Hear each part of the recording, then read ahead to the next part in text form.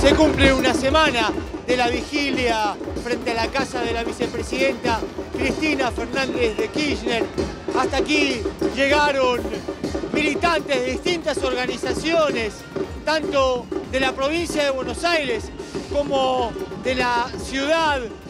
Eh, la calle Uruguay está habilitada al tránsito, no así Juncal hasta Paraná, donde cientos de militantes, sobre hombres y mujeres, acompañan, apoyan a la vicepresidenta de la Nación.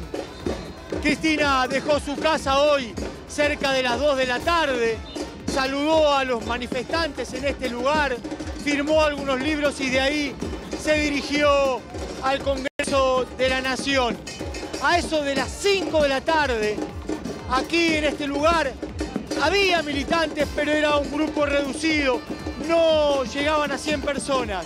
Pero estas columnas que ustedes ven ahora, de distintas organizaciones políticas y sociales, se acercaron hasta este lugar, colmando gran parte de la esquina de Uruguay y Juncal, que por un momento estuvo cortada el tránsito, pero después entre los organizadores y los eh, policías de tránsito acordaron liberar Uruguay y que todos los militantes se ubiquen eh, para el lado de Juncal.